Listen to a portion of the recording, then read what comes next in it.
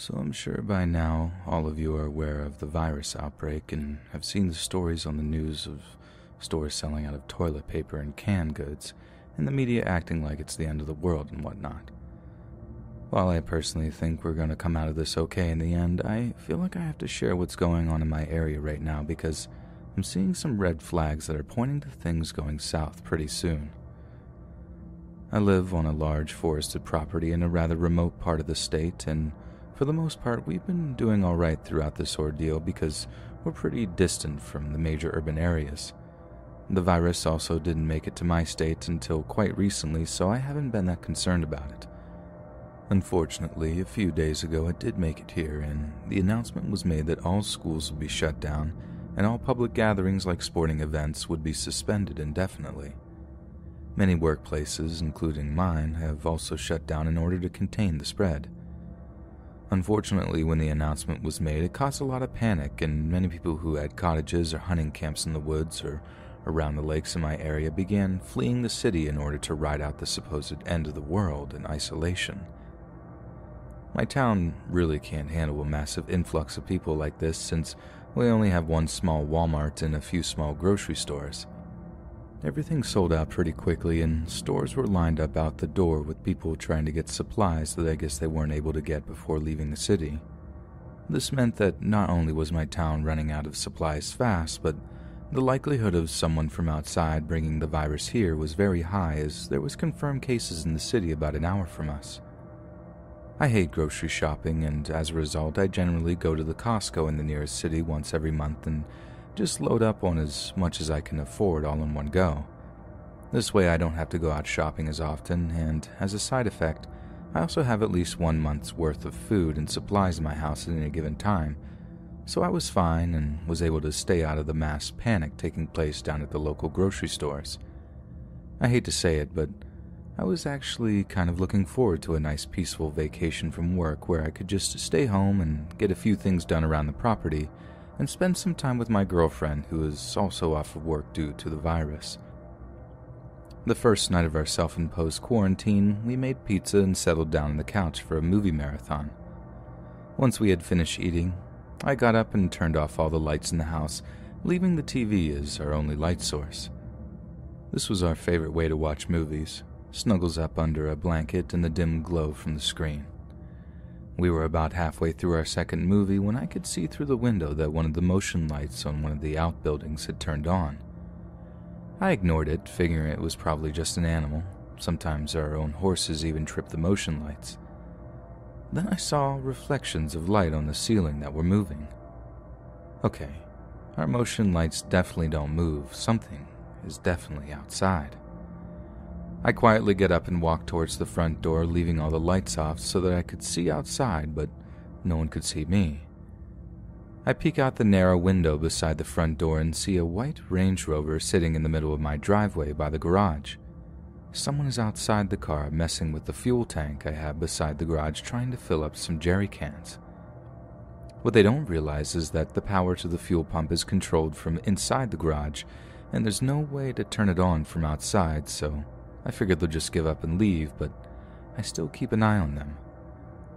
Unfortunately for me, they notice the electrical conduit leading into the garage and put two and two together and start walking towards the door. I suddenly remember that the door isn't locked and bolt upstairs and grab the shotgun from the safe. I throw the front door open, which startles the guy as he's walking back out from the garage. I don't even point the gun at him, but he still freezes.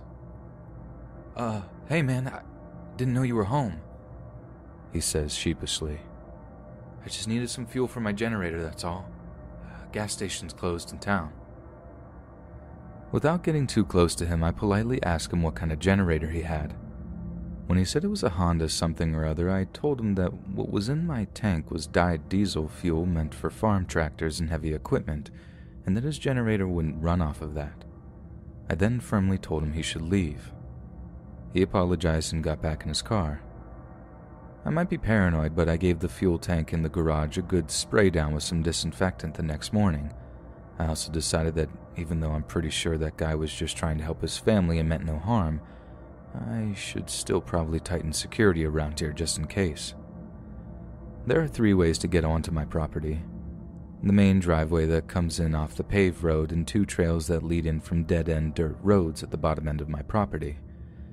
The public road just kind of becomes my property at a certain point, and there are signs posted as such.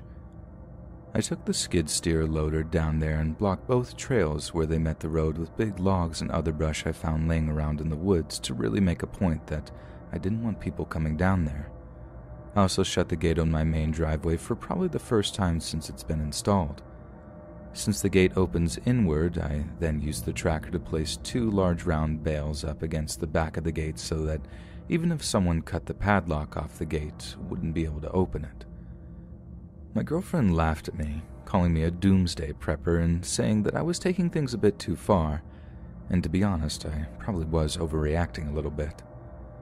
That night, which I guess is last night if you're reading this the day it was posted, it wasn't even dark yet, and we had another car pull up to our gate. No one got out. They just turned around and left when they saw the barricaded entrance. I had been keeping in touch with my friends and neighbors in the area via daily phone calls, and they had all reported similar things of people coming onto their properties trying to obtain extra supplies. At this point, the supply chain to our town is still functioning, however, our tiny Walmart and two or three grocery stores just don't have room to keep enough stuff to meet the demands of everyone panic buying, so I'm not surprised that it's come to this. I wouldn't consider what's happening to be full blown looting yet, as most of my neighbors have said that the people have just politely asked for anything they could spare and left peacefully. I seem to be the odd one out with my encounter with the man attempting to steal fuel for my tank. Later, after it got dark, my girlfriend and I were settling in for another movie night when my phone rang. It was my neighbor up the road who is rather elderly he tells me he's having a problem with his well pump and can't get water and was wondering if I could come have a look at it and also bring him a few jugs of water. I knew he didn't leave his house much anymore, and I had been the one to get him supplies when all this started happening, so I knew he was probably safe from having the virus. I was a little concerned if I had it and didn't know that I would give it to him, since the elderly were the most at risk but he just shrugged it off, saying that I had been there a few days ago, so if I had it, he probably did already, and that he was old and would likely die soon anyway, so he wasn't really worried about a stupid virus named after a terrible beer. Well, I couldn't argue with that logic, so I got a few big jugs of water for him, collected a few tools, and after moving my hay bale barricade and then locking the gate behind us, my girlfriend and I set off for the neighbor's place. We gave him the jugs of water, and I got his well pump working again. And it was actually just a leaky pipe causing it to lose water pressure, and we headed back home. Once I had parked my truck and I had put the hay bales back in the place blocking the gates, I went to put my tools back in the garage when I noticed something odd about the fuel tank. I walked over to it and realized that someone had removed the filler cap and had stuck what appeared to be a hand operated bilge pump from a boat inside the tank to try and siphon out some fuel. There were a couple of jerry cans left near the tank as well, and they were all empty. This led me to a worrying conclusion. Whoever this was had likely seen us drive in and had run off to hide somewhere in a hurry, and they probably weren't too far off. I yelled out into the night that whoever was out there better get off of my property or there would be consequences. I heard someone run through the trees behind the garage, and the sound slowly faded away. I removed the pump from my fuel tank and closed the filler cap. I took the jerry cans and pump and just tossed them over my front gate and went inside, locking all the doors. My girlfriend and I watched one more movie and then went to bed. The next morning, when we woke up, we took the ATVs and did a quick perimeter check of the property.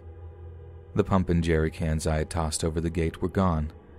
They had come back and retrieved them sometime in the night. We also found tire tracks leading up to one of the log barricades on the lower trails and a bunch of footprints indicating that they had tried to move some of the brush but then gave up and just climbed over and walked in on foot. I know these incidents are minor, however, if people have already resorted to trying to steal things, and the situation hasn't even gotten that bad yet. I'm genuinely concerned for what's to come.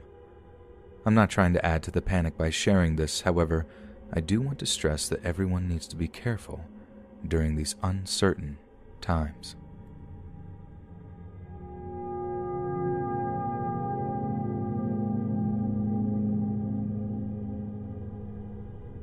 Now, I'm not a big fan of Uber. Random people picking you up sounds like a bad idea waiting to happen, and this experience only confirms my problems. I work as a bartender in the UK at a pretty popular bar. I always take cabs to and from work, so I don't have a car.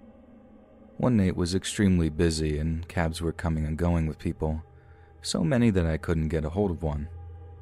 Desperate, I downloaded Uber and found a driver two minutes from me. He arrived, and I attempted to open the back door, but it was locked. I looked at the driver, who signaled for me to open the front passenger door. I found it odd he wanted me sitting right next to him, but I assumed that he had a bunch of stuff in the back. Reluctantly, I got into the passenger seat. The man had a thick Russian accent. Part of me considered just speaking Russian to him, but looking back on it now, I'm glad I kept that ace up my sleeve. Where are you going? He asked in an aggressive way as if I was wasting his time. I told him the address, he plugged it in, and we were on our way. Now, usually in these stories, the kidnapper starts following the route and then goes off track once your guard is down. This guy took the first wrong turn he could. Um, this isn't the way. Can you please turn around? I begged. I. I know shortcut, he said. Except he didn't. I saw his phone, and his turn added four minutes to the drive time. Just then, his phone started ringing with the idea saying Lyova K. He picked up the phone, and that's when I heard the most horrifying call in my life. Now, to translate, they said, Yes, yes, she's in the car. She suspects nothing. Prep the chains. I'll be there in 10. Make sure everything is ready. We can't leave any remains. We were too sloppy last time. He said all of this in Russian, assuming I couldn't understand. To this day, sometimes I wish I didn't. Now I knew I had less than 10 minutes to get out of this situation, or I doubt I'd be seen. We were approaching a stoplight. I had to quickly formulate a plan. The door was locked, but it was one of those button locks you could pull out to unlock the door. There was a risk of the man being armed, but I didn't have a choice. Another problem was that we had entered a bad neighborhood, one that was dangerous for a young woman walking alone at night to be in. I decided that after escaping, I would have to order another Uber and pray it was safe. The light turned yellow, then green, and as the car was moving forward, I pulled the button and leapt out of the car. Hey, get back in here! The driver yelled, but I was already running. I didn't expect to hear footsteps behind me, but when I turned back, the driver was chasing after me. He just ditched his car and came after me. I turned down an alley and hid behind a rubbish bin. I heard him run past the alley. I waited for what seemed like hours until I heard his footsteps again run past the alley entrance. I left the alley and looked back down the street. The car was gone, but my nerves weren't any better. I was still in a bad neighborhood. I was about to call for another Uber when I wizened up. He was probably expecting I'd do that. He was probably on his phone waiting for the alert. So I trekked home. I made the whole two hour walk home. I was lucky enough not to encounter any trouble in that way, and as soon as I was back home, I broke down crying. I lived alone, so I didn't feel safe one bit. The Uber driver still had my address. I called the police and gave them the description of the man and the make of his car. They attempted to utilize Uber and my pickup history to match the driver with my description, and it turned out that my original driver was supposed to be a woman in a completely different vehicle. In my ridiculous haste, I saw the Uber light and didn't even think to check my app. And like a classic horror story idiot, I didn't get the license plate either so they couldn't do much, but they said they would send an officer to the area. A few weeks later, I had the urge to check the internet to see if anything had been done about my complaint. I came across an article on a Jane Doe found dead by a riverside, her hands chained and a bullet in her skull. The man, not my Uber driver, charged with the crime, told the police of a man named Lyova Casanova, who led the entire gang. Nothing ever came up about Lyova, though. I decided not to come forward with what I knew. I just wanted to return to my life. It's been three years since then, and I've been able to move on with my life. I'm happily married now, now manage my own bar, and have twins coming in a few months. For everyone out there who uses Uber, I won't tell you not to use the app because I made a huge mistake that night, not double checking the driver with what it said in the app itself. Even though I haven't used it since that night, but I will tell you to make sure you have the driver's license plate, his description, the make of his car, and always make sure he stays on route. It may seem like a long and hard process, but it may just save your life. And to the Uber driver who wanted to turn me into another Jane Doe, I pray we never meet again. I now have the means to defend myself, and if we do meet, I promise only one of us is leaving the encounter alive.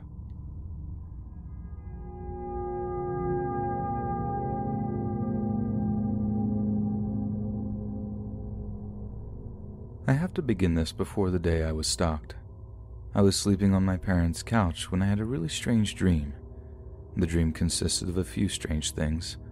I was dreaming that I was sleeping on the same couch I was actually asleep on when I woke up, in the dream, to the slam of a car door outside. Thinking my parents came home late at night, I looked outside. I saw one of the strangest, most demonic creatures hobbling across my front yard. I felt really uncomfortable, so I rushed down my hallway to get my phone and my brother's gun. The next thing I heard was a huge thud on the front door. I started loading the gun and looked out the peephole. All I saw was fur reflecting in the light. It was the creature trying to break down the door and kill me. I couldn't remember where, but I read three words that still scare me to this day I'm watching you. I then woke up for real with my heart racing. I then heard a car door shut and I looked outside. It was just my mom. I told her about the dream and she then told me she had to go to J.C. Penney. I decided to go with her just because of how scared I was. I then went shopping with my mom and I decided to look at the men's department. As I was looking at some different ties and shirts, I noticed a man watching me. He then quickly looked away while picking up a random item within his reach. I didn't think much of it, but he decided to look back in a few minutes. As I looked back, I noticed that he looked away from me really quickly, like before. I had to go to the bathroom, but I felt a little uncomfortable. I decided to suck it up and go, just thinking I was being paranoid. I had gone to the bathroom and did my business. The man then walked in and walked up to a urinal. I got a bad feeling in my gut, then looked back at him while washing my hands. He was watching me. Then he noticed I was looking at him. He smiled at me like I was his next meal or something. I had started to walk out of the bathroom and he quickly zipped up and started after me. I ran to the end of the aisle and just started looking at other things. I then see the man start to look at some things near me. I walked over a couple of aisles. The whole time, the man was not far behind. The man seemed to be in his late 60s or early 70s, and I was around 9 or 10. I had heard different stories of people kidnapping kids, and it freaked me out. But after being followed, I ran out of the store and hid in a nearby store watching the door. After a while, I decided to find my mom. I was watching everywhere around myself and finally found her in the J.C. Penney. I freaked her out when I found her. I then remember the words I read somewhere in the dream of that morning. I'm watching you. After that, I've never seen that guy again, but sometimes I'm reminded of him, and I think back to that time and feel strange. I'm 20 now, but the memory of that day just scares me sometimes. Was it somehow related to my dream? Maybe. It just doesn't make a lot of sense. But that's my story, and the lesson is this please watch your surroundings at all times. You never know what people are thinking, or what they're capable of doing.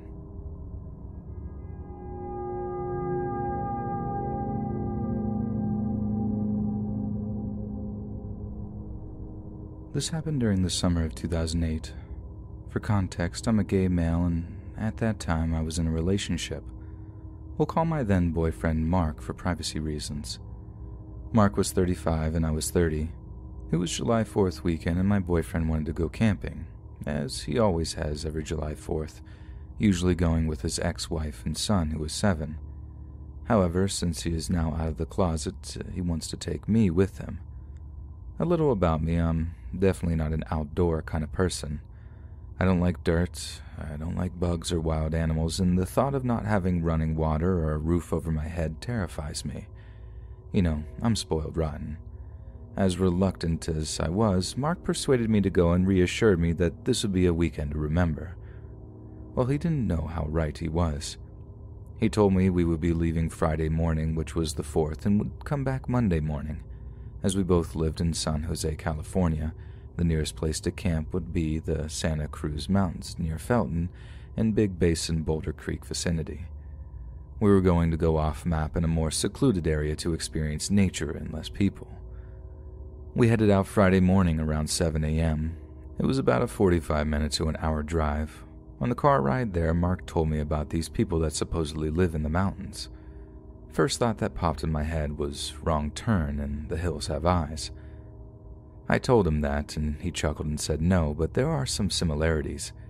He explained in great detail that these people were uncivilized, not socialized, and unlike the rest of us in society, and could possibly be dangerous if we encountered one of them. They basically live like cavemen and are inbred.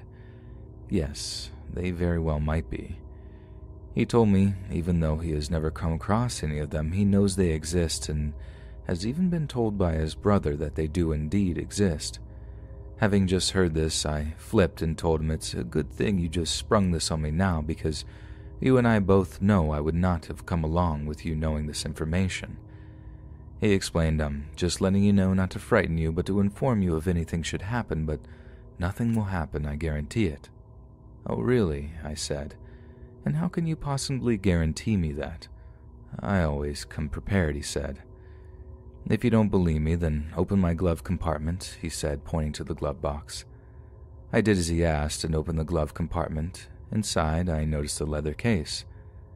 I pulled it out. What's this? Fearing what I already suspected it was. I opened it, and right before my eyes was a revolver. A gun, basically. I don't know what kind or anything. All I know it was a black gun. This is your guarantee, I suppose, right? I told him. Yes, you must have known on some level that I wouldn't take us out in the middle of nowhere and not have us protected, he said. I guess maybe in the back of my mind I thought, yeah, but seeing it now makes me feel very uncomfortable, I said. Then also knowing that there is a chance of something happening for you to even bring that gun makes me even more scared than anything else, I said. He didn't respond. He took his hand off the steering wheel and grabbed my hand and held it tight. He looked over at me and said, I won't let anything happen to you. This weekend is for us to enjoy each other's company, and that's what it will be. You'll see, he said. He did a good job of reassuring me because I didn't think about the gun again. We reached our destination not too long after that. All around me was just nature trees and trees, branches, rocks, and boulders everywhere. You could barely see the sky from all the trees blocking out the sunlight. We began to unload everything from his Toyota. I was impressed by what he had brought a two bedroom tent, a king size airbed, and a portable generator with three outlets to run power off of. Wow, I said. Maybe this won't be so bad. He smirked that smirk that I loved. Now that I think about it, I think it was more of an arrogant smirk. Well, my cell doesn't get any service whatsoever and was basically useless, and I did use it as my MP3 player. Smartphones were just starting to make their way available to us, but I had my Motorola KRZR then and was ready for the upgrade. Mark said, Yeah, well, I need the power because I do have to get some work done this weekend, as he pulled out his laptop from the back seat. What am I supposed to do? Go play outside while you're working? I said. Don't be like that. I've seen all the books, magazines, and your Nintendo DS, so you obviously had ways to occupy your time as well, he said. He was right. I did bring things to entertain myself and was absolutely delighted that I could enjoy them longer with the help of portable electricity. Friday, Saturday, and Sunday were uneventful. We took hikes, made campfires, took naps, relaxed, and barbecued. I did actually enjoy myself. That is until Sunday night. We were in bed. Mark was asleep, and I was reading R.L. Stine, Fear Street book. Yes, I know, but I love those books. I thought I heard something in the distance. Now, I was kind of used to the little noises of animals like chipmunks and squirrels running around through the leaves, but this sounded more distinct. Footsteps, not that of a four legged animal, it sounded more like a human, like someone was trying to walk as quietly as possible. No, no, I thought, it's just my imagination from reading this book. I set the book down and started to strain to hear more. Closer, whatever it is, it's getting closer. A bear, maybe. I looked over at Mark, who was sound asleep. Contemplating what to do, the footsteps reached the tent. Right above our heads was a zippered screen window that we had zipped closed, and that was where whatever it was outside had stopped. I held my breath. All I could hear was my rapidly beating heartbeat. I heard someone else breathing. Not Mark, whoever it was outside. I wanted to wake Mark up, but I knew if I did, he would make some kind of noise and that would alert whoever it was out there that we were awake. That was when I heard a click. I know that sound. It's the same click sound when I open up my pocket knife. Oh my god, I thought. This is it. This is where I'm going to perish. Mark, I thought. I knew this was a bad idea. That's when I heard a scraping sound run across the tent. I knew what they were doing. They were running that knife all around the tent, taunting us. I knew this person had to know one of us was awake. Why else would they be doing that? The sound of the blade went all along the side of the tent and came back around to where we were, then started again. It was then I nudged Mark to wake up. Mark, I whispered. He started to groan. What? And I said, Shh, please. I whispered, There's someone outside. I couldn't see his face or anything for that matter because I had turned off the reading light. There's someone outside, I whispered. Look. I then saw a flashlight shining on the tent. Mark reached over to the side of the bed, grabbed his case, and pulled out the revolver. He yelled, Stop! Whoever's out there, I have a gun, and I'll not hesitate to shoot you in the face. Leave now or I will. The flashlight switched off, and whoever it was started to walk away. Not even a speed walk, just casually walking away, and without any light, it was completely pitch black out. Mark held onto that gun as I lay there in horror. Silence, nothing. We didn't say a word, just listening for any kind of sound. Somehow, in all the chaos, I must have fell asleep because I woke up to Mark shouting my name to come outside. I rubbed my eyes and looked at my watch. It was 6:15 a.m. and it was already light outside. I darted up and ran outside to see what he was yelling about. I ran to him to see him kneeling down by his tires, slashed. I looked at the other ones and they were too slashed. The driver's side and passenger side window had been shattered. Oh my god, I shouted. What are we going to do now? Mark grabbed my hand and said we're going to walk back to the main highway as fast as we can before whoever did this comes back. My wallet, I cried. I need my wallet, my keys, and my phone. My phone was still in the tent inside the bag. I rushed over to the tent, grabbed my messenger bag, realizing, oh wait, my wallet and keys are in the glove box. Oh god, I said the glove box. I ran over to the Toyota, swung open the door, and noticed the glove box was torn open and everything gone. I started to cry, realizing that this situation is too much for me to deal with.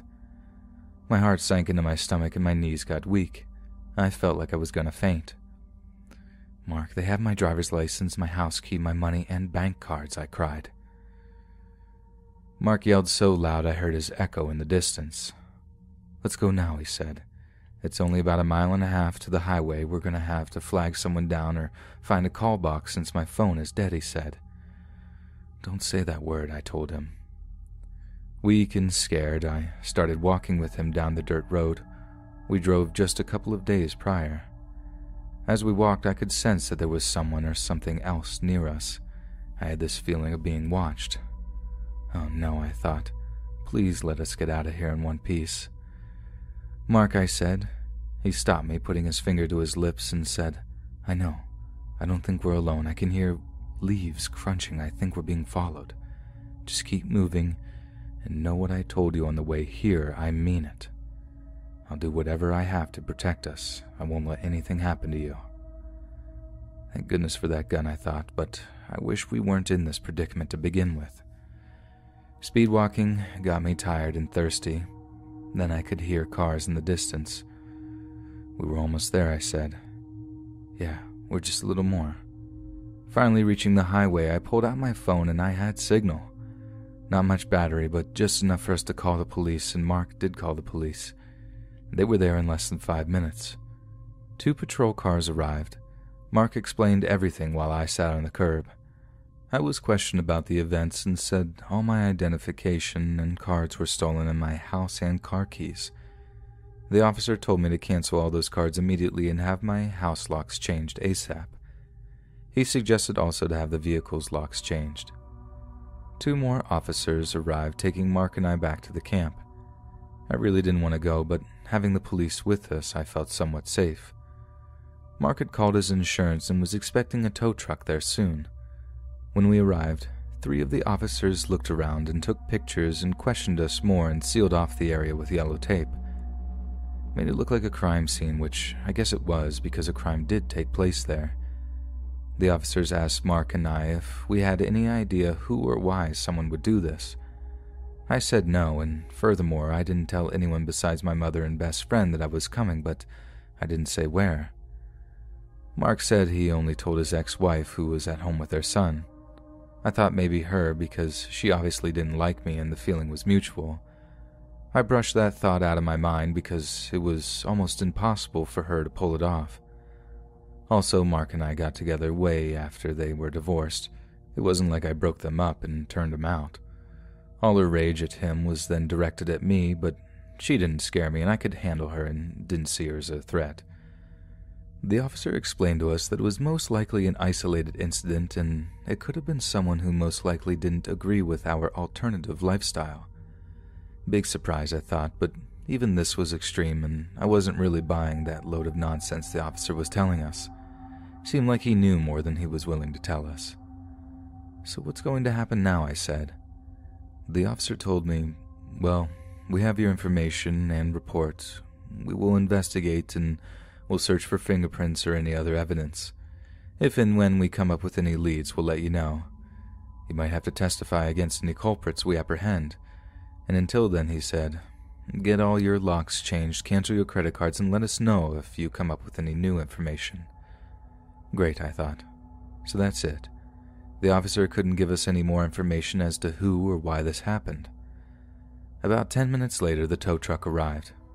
We gathered all of our belongings. I was confused that nothing in the tent was stolen, not even Mark's laptop. Now, if I let my imagination run wild, I could think of other things that didn't make sense, but I didn't want to go down that path. On the way back to the city, I was so much in disbelief. I wanted to say to Mark, I told you so, but he looked so hurt and confused I couldn't do it. Plus, it sucked to be right. I mean, I really did want to enjoy myself this weekend, and it started out pretty good. I got home immediately, canceled everything, had my mom call the locksmith, and changed all the house locks. I made an appointment for my car to get the locks changed and left it in the garage. I was still tense just knowing someone had my address and keys. Even though they couldn't unlock our house door, that wouldn't stop them from breaking in. Nothing ever came of the situation, or if it did, Mark never informed me of it. We spoke about it, and he was constantly checking in with the police department. He bought a new SUV. He didn't want any kind of reminder of that weekend, and I agreed on that. We broke up a few months later for other reasons. I always wondered if he ever went camping again after that, or if he ever regretted that weekend. As for me, it's been 12 years since that horrible weekend, I now live in a different state where people do camp a lot. Good for them. I haven't camped since then, and I never will again.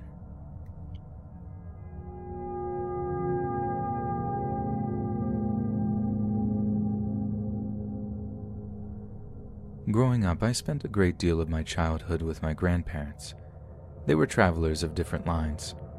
My grandma being an Irish traveler and my grandfather being of Romani descent, despite being born and bred in Ireland. I was staying with my grandparents during the Easter break. My granddad's mother, Leonora, was still alive and kicking, around 90 years old. She was the monarch of the family, outliving her spouse and siblings by almost 25 years. For an elderly lady, she was incredibly tough as she was still physically able to walk unaided and get around. I called her Nora, which is what I still refer to her as in the story. My days would start with porridge for breakfast, followed by hours of playing outside no matter the weather eventually coming back to the trailer to spend the evening helping Nora cook. She would tell me stories of her childhood and plait my hair. After we had eaten, my grandmother would put me to bed. After a while, Nora would come and sit on my bed and stroke my head. What I didn't know at the time was that Nora would place and replace stones around my bed and window sill to come back and remove them before I woke, and I would never have nightmares. Around the tenth day, things went as usual. I was put to bed and Nora came to place the stones. This is the night I had the most vivid, terrifying dream I've ever experienced, which woke me up. Upon waking, I saw the stones. I picked one up to investigate. As I retrieved it, something in the hallway caught my eye. I looked out to the hallway and saw Nora, but she appeared cloudy and translucent. She turned her head to look at me, smiled, and proceeded to move down the hallway. She wasn't walking, however, it was more like a gliding like motion. Despite being awoken by a nightmare, I felt calm. Still clutching the stone, I got out of bed to follow her down the hallway. As I passed her room, her door was closed as it usually was when she slept. I reached out to open it, but my hand would not touch the door no matter how hard I tried. I just couldn't touch it. Frustrated and sleepy, I headed back down the hallway to my room to go back into bed. I placed the stone back where it was before I picked it up. I slept the remainder of the night peacefully. At one point, I felt Nora stroking my hair. When I woke up in the morning, Nora's door was still closed. I was greeted in the hall by my granddad, who took me to the kitchen. He sat me at the table with my grandma and cousins as my grandfather explained to us that Nora had gone away and we won't see her again for a very long time. Later in life, it became clear to me that me not being able to open the door was Nora's way of protecting me from seeing something damaging to a young child, and for that, I am grateful.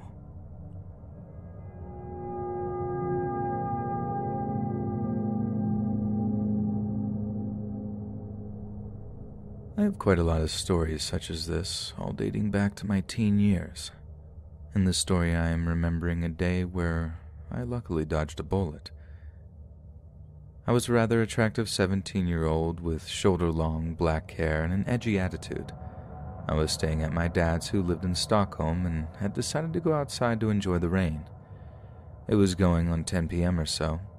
As I was standing there, a taxi pulled up and a man and woman exited. The woman, after having said goodbye to her, I assumed, friend, left down the street. The man, however, going on 40 something, walked up to the apartment door that me and my dad lived in. He stopped and looked at me, his attitude friendly and relaxed. Why are you standing out here in the rain? he asked. I like the rain, I replied, thinking I was quite cool for the fact. Yeah, it was that age. Come, you'll catch a cold he said after a little chuckle and opened the door. I followed in, and we shared the stairs on the way up, where he asked how old I was. I told him 17, and he appraised me from head to toe and said, with surprise, that he thought I was older. Again, being that age, I was nothing but flattered. All teens want to be adults, after all, or the very least appear it. I laughed anyway, and we continued up the stairs when he gets a strange idea. Ever seen Stockholm from the roof? No, I said, intrigued but also apprehensive. It was raining, so the idea of walking the roof didn't make sense in my head, but Being a bit of a stupid thrill seeker, I obliged with a smile. He led me all the way up until we reached the apartment attic. He turned around and grinned at me, which at the time I thought was only innocent. We make it to the roof anyway, and he holds my hand so I won't fall. The view is amazing, and it's not raining so much anymore. We walk around there, keeping balance, until eventually he helps me back downstairs into the attic. We continue to innocently talk until we make it to where he lives, a few stairs down, and this is where my alarm bells really went off. Want to come inside? He asked, standing there outside of his door. I was stunned by the question, because he knew how old I was, and while legal in Sweden, it's still creepy considering our age difference. Realistically, there is only one thing a man could possibly want with a 17 year old girl he quite obviously found attractive. Um, I stammered, still taken aback by the question. I have a friend over. We can watch TV and eat pizza. A friend? I can't tell if that makes it worse or more secure. No, thank you, I politely replied, and made it towards my dad's door, which was ironically right next to the man's. You live there? he asked, pointing at my dad's door, and he said his name.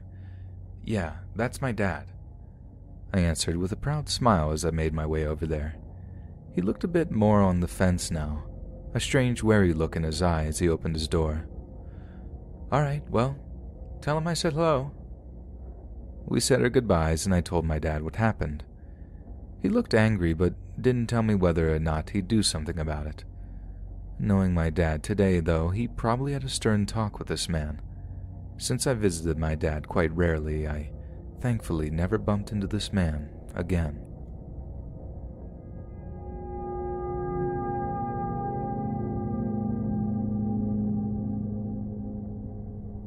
I don't like to use the word ghosts to describe specific paranormal activity. However, I like to use the word as a blanket term. I truly believe that there are things in this world which influence us with an invisible eye, and most are willing to ignore the fact by being blissfully unaware. But there are a few who can see through the veil and are forced to believe otherwise. I am one of those lucky or maybe unlucky people that have seen enough to not ignore its existence. I could probably talk all day about why some people are chosen to see through the veil, but I'm not here to talk about that. For a long while, I've been listening to ghost stories on YouTube that have been narrated, and it never fails to fascinate me. I've had the idea to type out my ghost stories, but failed to make them entertaining enough to be read out. Hopefully, this will be different. My story begins when I was a young boy. I'm 23 now, but don't remember how old I was when this happened. Just know it was a while ago. I believe my family and I were in Arizona. The house that this occurred at was a big house. My dad has always liked big houses and preferred them over anything else. The moment you open the front door, you see an angled wall that went left to a rather sizable area that eventually led to an even bigger living room. Maybe I'm being overdramatic with this, but could be because I was small. Directly to the right of the front door was just a wall, and to the left was a big window that led to a curved staircase that went to the right. Right underneath the top of the stairs was a bathroom that was a Jack and Jill styled bathroom. One room was for the toilet, then the other room was a sink that then opened to the large front room. That's about how much you need to know in order to fully understand the story, so won't be indulging in any more about the house. It was a typical evening, and we decided to go out to eat. Being that we didn't get to do this often, I was excited and got ready as fast as I could. Because of that, I was the first to be ready, and seeing as I was impatient, I ran downstairs to the front door to wait for the rest of my family who were still upstairs getting ready. I don't recall how long I sat there for, but at some point I began to have a funny feeling. At the time, I didn't know how to explain my feeling, but I now know that it was the feeling of dread.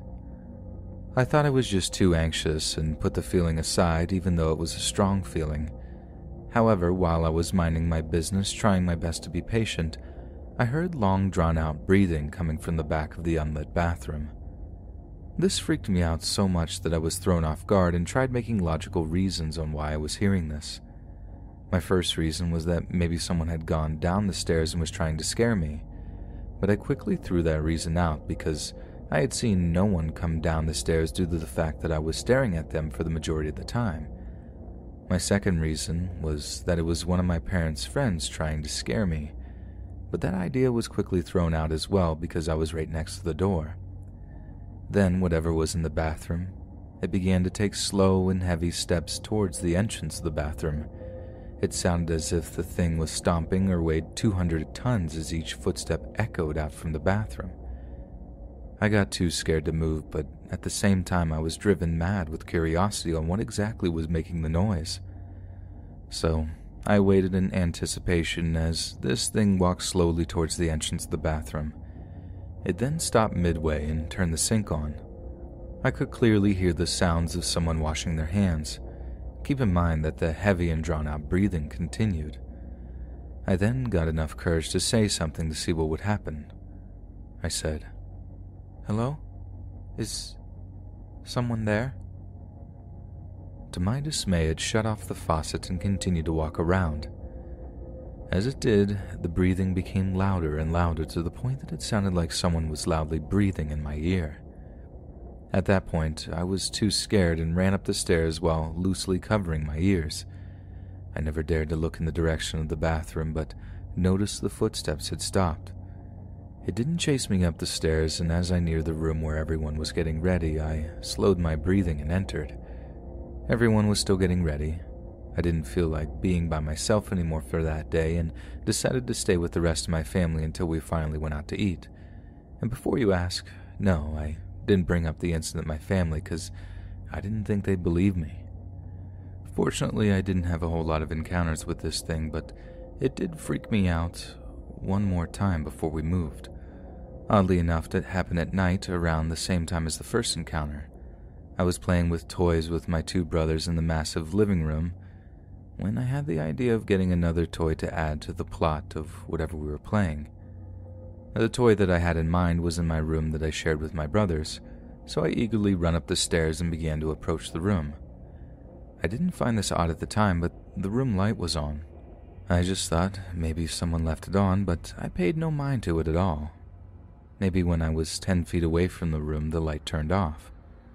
The door had suddenly went from fully open to ajar as if someone were peeking out, and to my absolute horror, was accompanied with the same drawn out breathing coming from the room. I wisely chose to turn and run back down rather than face whatever it was that was blocking me from my toy. When I got back, I gave my brothers an excuse that I couldn't find the toy. Thankfully, nothing else happened. When we finally moved, we went to Colorado my dad rented a small home that barely fit the big family, a ranch style, I believe. We didn't stay in that house for more than five years, but we eventually moved again. But not before facing another ghost that seemed to target my brothers and I. We even got to see what it was. Now, I don't particularly remember the layout of that house, but I do know that the room that me and my brothers shared had a big window that faced the backyard. That is where we saw this other ghost. The encounter with this thing, though, stands out from the rest of my ghost encounters. On this said night, me and my brothers were in bed just talking to each other in the dark about elementary kid stuff. I was talking about something when I noticed my twin brother staring behind me at the window with the look of pure terror. That was when I saw my oldest brother looking the same direction. He too had the same look. With my eyes wild, I quickly turned around to see a child sized shadow person standing at the window looking in on us. Nothing really stood out except the milky white eyes that glowed. I immediately had the impression of hate, death, and decay. Weirdly enough, we didn't scream but ran out as fast as we could out of that room with our blankets and pillows. On that night, we decided to sleep in the hallway with the room closed for two months until we were forced to move back into our room. My brothers thankfully never saw that thing again, but I would see it one more time. The last time I saw it was not as scary, but more interesting. I remember that it happened in a winter season because there was snow. I was told by my father to bring out a trash bag to the trash bin that was in the backyard against the wall. I gleefully took the trash and hopped my way to the back gate. I opened it to see the same shadow child looking in our room as before. I tried to study the situation, but before I could do that, it turned and ran from the window in the opposite direction and vanished halfway through the yard. Curiosity got the best of me, and I threw the trash in the bin and promptly went over to the place I'd seen it stand. I saw two footprints in the snow where it had been standing and saw the trail that it had made before disappearing for good.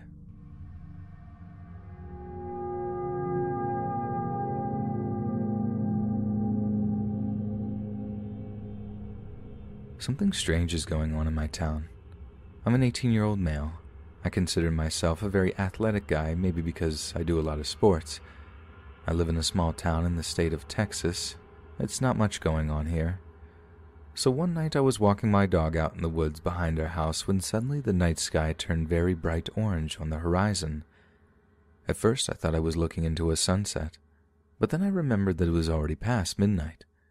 Then the sky went back to normal, and repeated that process two more times before it disappeared as fast as it had happened. I then felt pretty sick and immediately started to walk back home, dragging my poor dog behind me. After I arrived back home, I told everyone, expecting them to have seen it as well, but nobody did so. I thought this was a bit odd. The same night, I woke up at 5 a.m. to helicopters flying over my house. I stepped outside onto our porch the choppers flew really low but had no lights, so they were almost impossible to locate. There were at least four of them. The night after, I saw more choppers after I heard a strange noise from our main road in our town, almost like an animal type of scream, but I can't replace it with any animal I know around here. Nothing more occurred after that. A thing I noticed later was it was completely silent during the lights in the sky, almost like everything had stopped breathing. So that kind of discounts it being any sort of explosion or something of that sort. I have a few theories, but to this day I don't know what I encountered that night.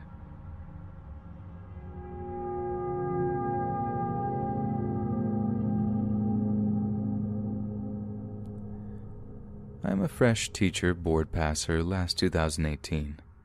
After getting my license, I was asked by a friend to become a substitute teacher in a nearby school for him, since he's going to be gone for a month. I happily accepted and started the next week after.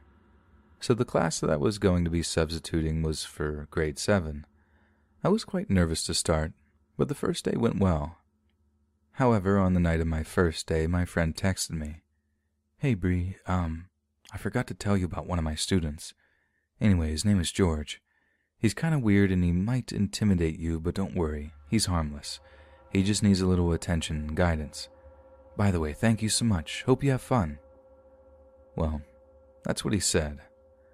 I was now aware of who the George kid was. He was small, wore glasses, and was sitting at the back. His classmates were kind of mean to him, I must say.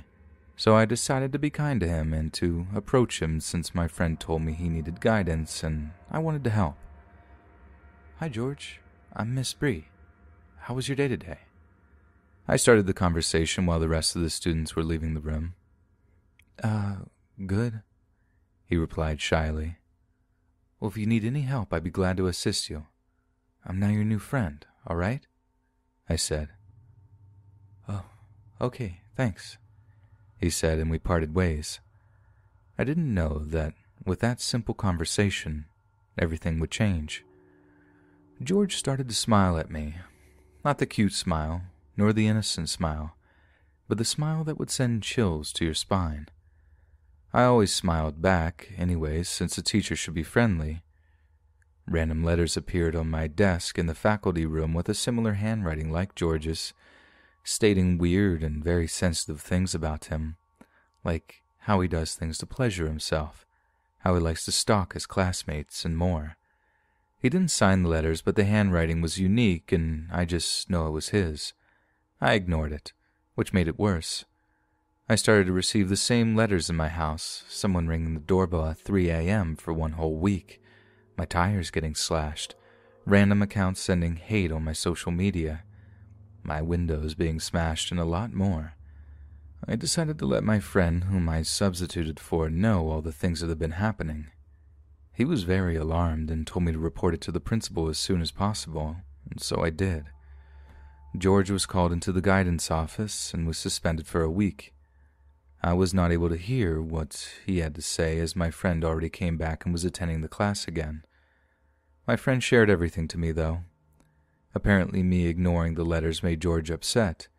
He felt like I lied to him about being his friend, and so he started doing these things to me to get his revenge. His parents visited me one day and apologized. I accepted it, told them to get help for their son. So to George, I'm sorry I didn't understand you. But please don't do this to your teachers. I would highly appreciate it if you get guidance and help. You're a smart kid, and you still deserve to be treated nicely since you clearly need help. Now, all these events destroyed me and my love for teaching. I decided to have a fresh start in a new state and took therapy while I looked for a new job, specifically not teaching for now. Hey friends, thanks for listening.